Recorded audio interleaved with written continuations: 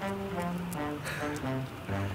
my name is Brandon. This is my furry friend tag with Ronin. This guy's name is Ronin, the chick magnet, Ronin the warrior, Ronin the beast, anything you like really. He's about to be five months in a couple of weeks. Oh, get out of here. So he's still a baby.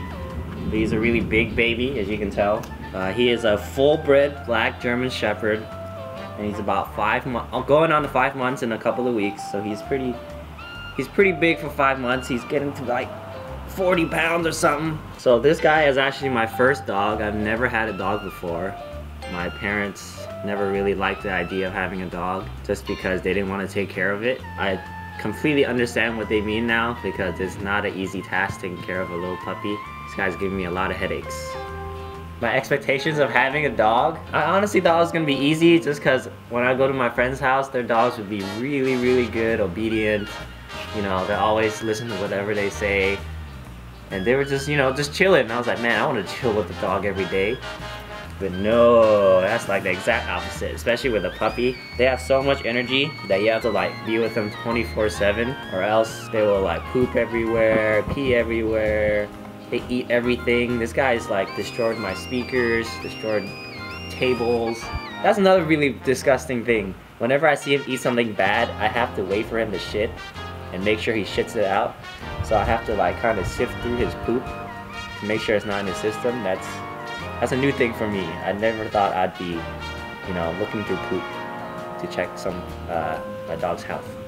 As a dog owner right now, it's it's still in its tough stages, but I think I'm still getting used. I'm starting to getting used to it. Like I know, I'm not the type of person that lives on a routine schedule. But with a dog right now, like every morning, this guy has to pee at like 8 a.m. And he, you know, he usually like licks my face or like rubs his nose all over my neck to wake me up because he needs to pee. And I have to feed him accordingly. It's definitely changed my lifestyle a little bit just because I have to prioritize around him. At first, I didn't really get used to it. I was really like irritated for waking up in the morning, but now it's I've gotten used to it. So now I think it's not really more it's it's abnormal for me to not wake up early to take this guy out to pee. The biggest challenge for me having a dog so far is balancing uh, my work schedule and my lifestyle with his. Because now when I go work or when I go out, I can't, especially because he's a puppy, I can't uh, be out for more than three hours. Or else, you know, he'll be stuck in his cage where he'll need to poop, he'll need to pee. So definitely he's on top of the list right now for, well, I shouldn't say that. Work comes first, but I do have to plan around him, which has been pretty tough because some days work just extends longer and I have to ask a few of my housemates, you know, to feed him or let him out. And ultimately it's my responsibility, so I do feel bad when I let other people, when I have to uh, ask other people to help me, you know, take care of him. So that's definitely the hardest part. You know, I've had to cancel a lot of plans, going out with friends, stuff like that to watch the dog. But, you know, it'll all be worth it after his puppy stage because I heard as a puppy you have to, as a puppy you have to watch him all the time. Which is good because I think he's attached to me now. Hey, hey, embrace it. So I have to leave Ronin in the cage when I'm out hmm. because he's not potty trained yet. So if I do leave him out of the cage, I'll probably come home and it'll probably smell like a dump. And if I do leave him in the backyard, like I said, he does dig up a bunch of holes, he chews plants. Oh! He eats shit. So uh, that's one thing, I cannot leave him out in the backyard because he loves to eat his own shit. For some weird reason, I've seen him eat his own diarrhea. I've seen him eat other dogs' bolts shit. So, he's a shit eater and a shit monster. He loves to shit to eat the shit, to shit it back out. So yeah, that's it is why he has to be in the cage. That way I make sure he does not eat shit. So he has healthy shit. So Ronin's behavior right now as a puppy is very, you know, he's very um, like any other, I guess, animal that's born into the world. They just want to explore everything. So he's just really hyper. He runs around everywhere, sniffs everything. But Uh, according to all the people that have told me, they change right after the puppy. Their behavior changes completely. They become, you know, more mature, I guess. I think he's going to puberty right now. If I had to guess what kind of dog he'll be, his behavior-wise, I would assume he's going to be a smartass, just because some of the stuff he does as a dog right now is really like a ninja. I would just go, you know, get a cup of water, and I walk back, and there's a pile of shit. Like he, I think he knows when I'm not watching him. He knows it's time for him to misbehave. He's really friendly with people, so hopefully he won't change that when he gets older. But he is really aggressive with other dogs, so I think he might be a little bit very aggressive and dominant. But in a couple of months, these things will be snip snipped. Sadly, I don't want to do it, but the vet and everybody recommended it, especially with his breed. He's gonna, they're known to be very aggressive, so I don't want him biting anybody. So sadly, he's gonna get his balls chopped off. So I'm letting him enjoy it while he can. Beat.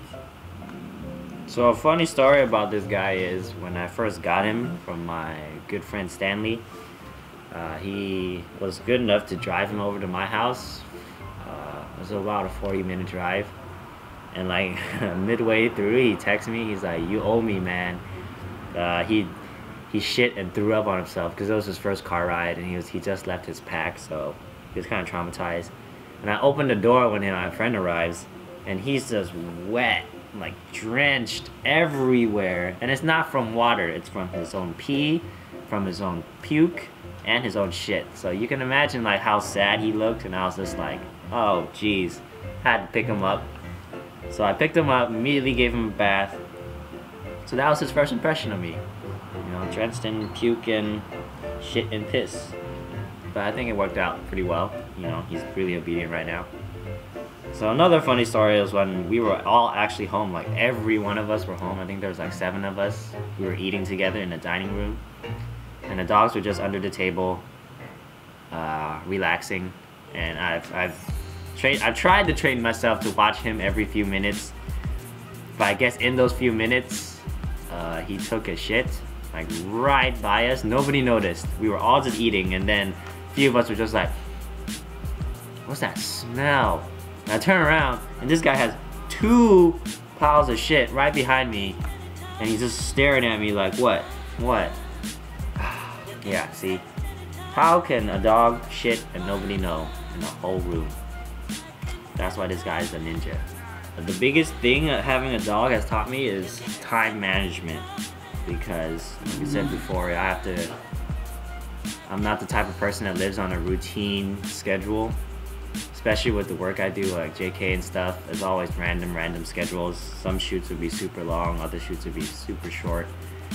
And some would be early in the morning, some would be late at night. So I'm not used to you know, I guess you could say working a 9 to 5.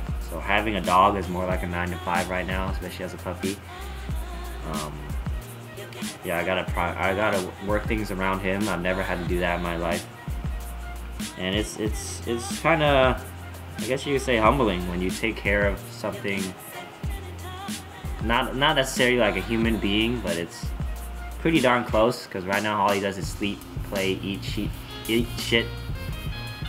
Um, yeah, just taking care of something so big, you know, you just kind of just opens your eyes to, I guess, a bigger world, you could say, because um, I don't, less selfish, I guess. Have to take care of this guy.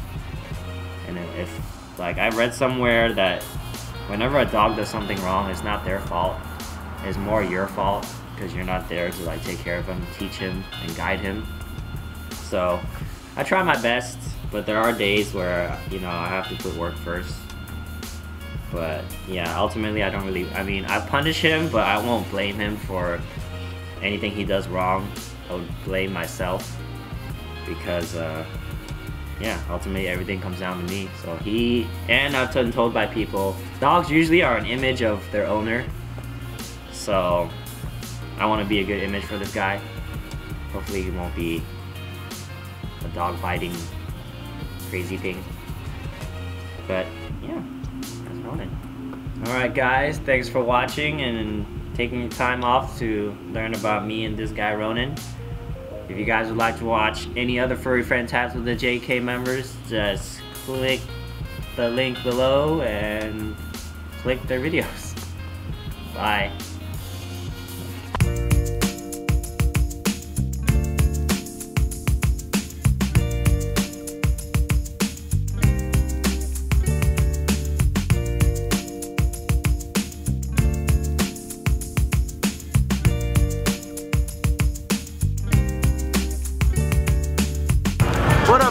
Today is a beautiful morning and although we live in Los Angeles, there are so many parts of LA we've never explored and we're gonna explore